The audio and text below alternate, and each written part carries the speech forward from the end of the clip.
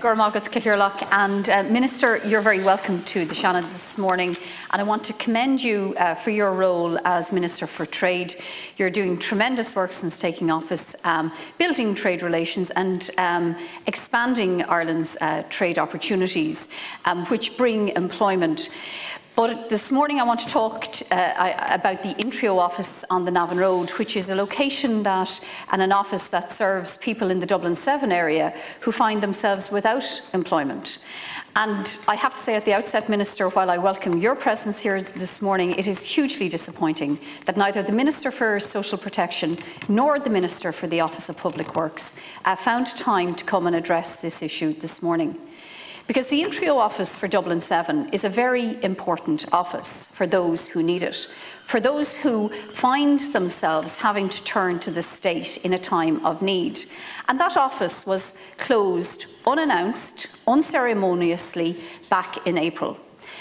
The staff, there was about 40, 50 people working there. That'll reflect how busy the office is. No less than 10 community welfare officers. That'll show you the type of need that there has that there is for, the, the, the, for that office in that area. The staff have been re relocated to Parnell Street in the centre of town, and the clients, the people who actually went to that office on a daily and weekly basis, have been left with the option of going into town, dealing uh, with uh, queries uh, online, or dialing a phone number which goes unanswered. It just goes unanswered. Now, we have a large elderly uh, community in, in Dublin 7. A lot of them aren't online. It isn't reasonable for them to be expected to either hang on a phone all day for no answer, tell them to go online, they, they don't have access, um, they're not uh, digitally literate, um, or truck into town uh, to Parnell Street. Uh, there's very little parking in Parnell Street. The office, the Dublin 7 Intreo office on the Navan Road is one that had uh, parking actually, could accommodate people who had uh, limited mobility, who do depend on a car or depend on a loved one uh, to bring them to the office. So, Minister, what I was hoping to get today for the people of Dublin 7 was an answer from either the Minister for Social Protection or the Minister for the Office of Public Works who manages the building on a date for a reopening of that office. I hope they've sent you here with some good news for the people of Dublin 7 because I know from talking to people, from hearing to, from people on a daily basis, that it is creating great inconvenience uh, for them. But on top of the great inconvenience and the upset, it's actually a huge waste of state resources.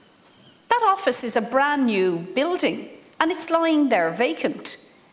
And I don't understand why any department of the state would be leaving an office like that, lie vacant, unempty, and no date for uh, putting it back into productive use. So, Minister, I hope they've sent you with some good news for the people of Dublin 7, and I look forward to your answer. Um, thank you, uh, Cathaoirleach, and uh, thank Senator Fitzpatrick for, for raising this issue uh, today and both uh, Minister, Minister Humphreys has sent her apologies and, uh, uh, that she couldn't be here today. Um, significant maintenance and upgrade work to the Intreo uh, Centre on the Navan Road in Cabra Dublin 7 had, had been scheduled for 2022. Plans were put in place for staff to transfer to other Intreo centres for the duration of the work, with arrangements made for customers to be served by King's Inn Intreo Centre, uh, Parnell Street. Uh, the work originally planned was premised on no significant changes been made to the services being provided by Navan Road Intreo Centre, the way those services are delivered and the layout of the building. Um, the Senator may be aware of the significant increase in construction and maintenance costs in recent months, or I'm sure she is aware of it, we all are, uh, including in building supplies. It was therefore decided, before finalising the works contract, to review the future use of the building at Navan Road to ensure efficient and effective use of resources. As, it, as, has been the case with other organisations and services, many customers of the Department of Social Protection have moved to assessing departmental services online over the last two years. This has largely been in response to the social distancing implica implications brought about by COVID-19 pandemic, and despite the fact that Intreo centres remained open to the public throughout the pandemic. This had reduced the footfall into Navan Road Centre, including a very significant decrease in the attendance of casual customers. A comprehensive review was undertaken in 2021 of all services and activities delivered by the Department's network of local offices, with the purpose of determining the best future operating models for delivering these services and activities. The review identified that significant portions of work that had previously taken place in the Intreo centres had been moved to alternative work streams, with the most significant being the processing of payments by the National Processing Team and the handling of phone and electronic contacts by the National Intreo Centre Contact, Contact Centre. The review also identified substantial benefits for standardising and streamlining work previously replicated across different uh, local divisions. As a result of this review, dedicated work streams have been created for control operations, the Community Welfare Service and employment operations, which includes activation, community employment, Tús and employer engagement. The impact of these changes and the new redistribution of work has given an opportunity for the divisional staff, those working in Intreo offices, to focus on vital customer service, customer-facing services, front office services, information services, client identification, identity services, claim, claim maintenance, front office control, uh, day-to-day -day branch office interactions and facilities management. In terms of the layout of the department's Intreo centres, this means that instead of large waiting areas with rows of seats and multiple hatches, the department will be providing self-service zones with interactive touchscreens, child-friendly spaces and autism supportive sensory rooms. The layout will reflect the fact that many customers will be there by appointment and therefore won't need to queue. The work in the Navan Road Intreo Centre has been had been planned some time ago and it was considered appropriate to pause the works while further consideration was given to the optimal use of the building.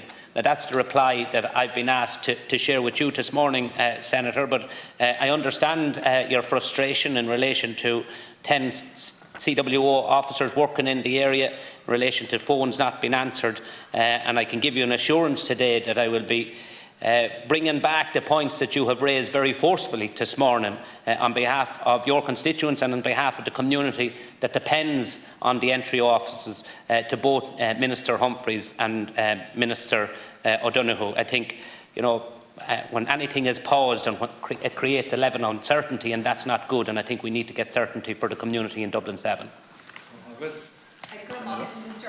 appreciate, and I'm not going to shoot the messenger in this instance, um, but I have to say that that um, reply reveals a number of things. It reveals that this has been in planning for a very long time, and that planning did not include any form of consultation with the clients from the Dublin 7 Intreo office. In fact, it demonstrates a complete disregard for the clients of the Intreo office uh, for the Dublin 7 area. Uh, it talks about a review. Did, the review, could it be published? Could we have uh, any visibility of that review? And it benefits, it benefits who? I don't see any benefit for people who are in need and who actually need some human understanding. That's what people who are in need need. They don't need online self-service portals. They need a bit of human compassion. And that's what people go to their community welfare officer for. And I think the day the state forgets what its role is for people in need is the day this state is finished. So, Minister, I'd like you to go back to the Minister for Social Protection and I would like you to ask her to meet with myself and a delegation from the Dublin 7 area to address this issue. And I would also like you to uh, go back to the Minister in the Office of Public Works and suggest to the Minister of Office of Public Works that he should stop wasting public infrastructure and public money uh, in, in, in taking perfectly good functioning buildings and having them mothballed. It's a disgrace. Senator. And final item is... Um, th oh, sorry, Senator. Um, thank sorry, sorry, Minister. Thank you, um, uh, Look, Well, look, I, I know from my own dealings with my local NTO offices and dealing with my local uh, community welfare officers of the invaluable work uh, that they do uh, face-to-face -face interactions and quite often uh, they are there to reassure uh, people when they're in a particular uh, state of despair and in a particular uh, state of need. Uh, so it's important that that service is maintained. But it's also fair to recognise that more and more people are moving away to um, online and interacting with state services online. That's just a matter of fact. Uh, but for those who are unable to interact uh, online, it is important that they should be able to access the services when they need them. Uh, you've made that point very forcefully. And I will go back, uh, as you have requested, um, to Minister Humphreys, Minister O'Donoghue, uh, in relation to the points that you've raised today.